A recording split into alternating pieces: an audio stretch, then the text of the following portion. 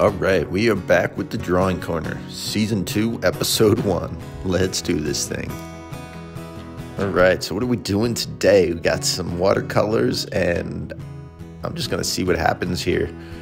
You know, most of the times I don't plan out what I'm going to make or how I'm going to make it, I just start making.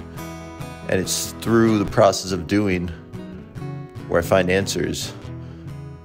Because, you know, a lot of this ends up being mistakes. I end up making marks I didn't want to make, or you know, just splashing paint around, and seeing what happens. Really, seeing what I can see within it. It's like it's like looking up in the clouds and trying to find objects within these strange shapes and making sense of it all. You know, these weird shapes and stuff and what you see within and through my art I've see so many faces. I see eyes all the time. And they often form the shape of weird creatures. And there's definitely a lot of creatures that are reoccurring within my drawings.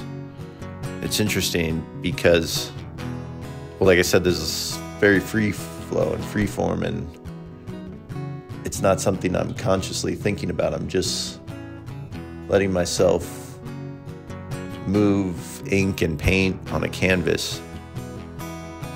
And I use color to create the energy of the piece.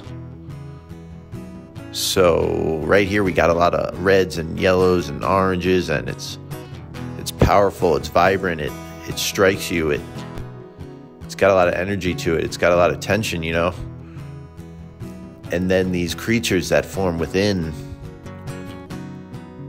So the thing with watercolor is you have this interesting balance where you can create these beautiful blended washed out colors as well as you can get a lot of texture out of it.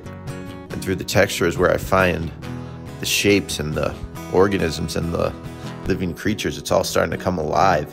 It's all starting to become one. It's starting to make sense and things start flowing into each other and everything becomes one. And it blows my mind because starting out there was no plan, there was no idea, there was no. Was there a purpose? Yeah, there's always a purpose. But you don't need an idea to have a purpose. The purpose is just expression and letting yourself create because for me, creation helps me express myself